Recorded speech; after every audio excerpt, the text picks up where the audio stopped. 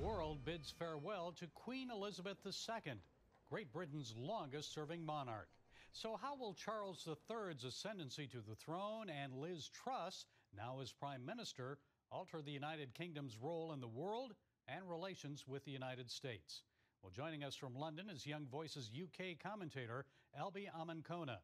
Albie, it's good to talk with you. So, it's definitely a time of transi- uh, transition and change for the UK. First, King Charles. Uh, how do you expect his approach may differ from that of his mother? Good to talk to you too, Gary. Yes, it is. It is a time of change in the United Kingdom. It's it's almost unbelievable to think that this time last week, Her Majesty the Queen Elizabeth was still our head of state, and Boris Johnson was still our head of government as the Prime Minister. And since then, the leadership of this country has has completely changed. The change of prime minister was predictable. I think most people assumed Liz Truss would win, but it was very it was a huge surprise to everyone in Britain to see Her Majesty the Queen pass away towards the end of last week.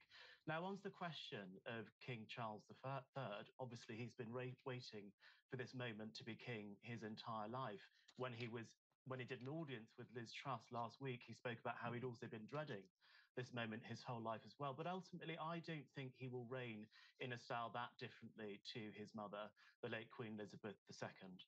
How about his faith, Albie? Uh, since her passing, we've heard a lot about the Queen's devotion to Christ. She always saw uh, her role as a defender of the faith. But uh, King Charles uh, recently said he was defender of the faiths.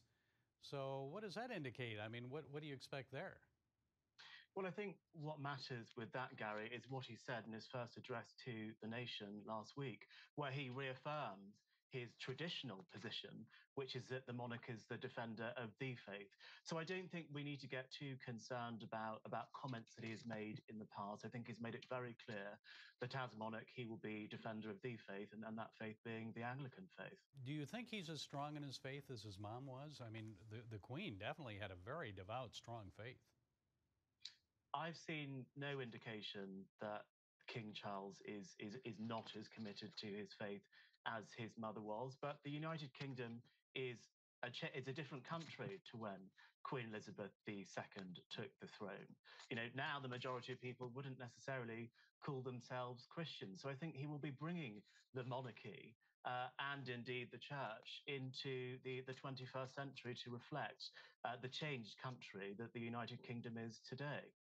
And in his first address to the nation, King Charles mentioned his son Harry and Harry's wife Meghan, who continue to build their lives, he said, overseas. So Meghan is an American and they live in California. So do you think Charles will be on better terms with uh, his American daughter in law than his mother was, uh, than the Queen was? And how might that affect relations with the U.S.? Maybe a visit to America as king soon?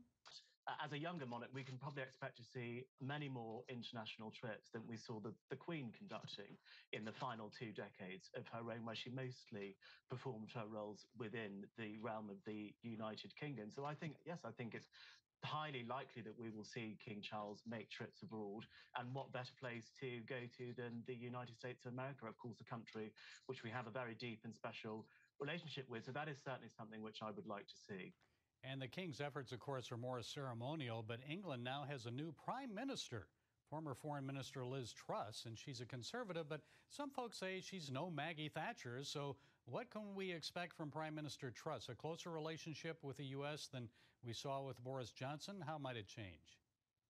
I think what we can expect from Liz Truss is probably more of a return to traditional conservative principles of, of low taxes, of pro business environment, a focus on the family, a focus on self reliance that is what she led the UK to believe, certainly during her leadership contest. But one of the first acts that she has made uh, as Prime Minister is a huge government intervention into the energy market. I'm not sure how familiar you are with the cost of living crisis which we're facing in Europe as a result of the Russia Ukraine war, but there's essentially a huge energy supply shortage which has pushed up prices, and it's essentially making gas and electricity unaffordable for, unaffordable for most people. I've seen that uh, she pledges to increase Britain's North Sea oil production and also a resumption of fracking.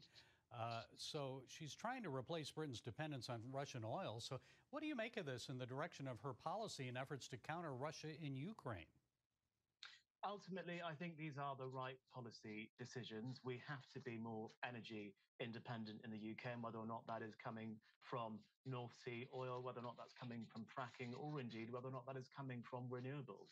What matters is, is that we have a, a, an independent energy source in Britain so that we're not to the behest of the global markets in the same way that we are currently, which is causing uh, these huge hikes in energy bills and is, is, is the reason why this huge state intervention costing between 100 billion and 150 billion pounds is happening. Okay, from London, Albie Amankona, Young Voices UK commentator. Thank you, Albie. We appreciate your perspective.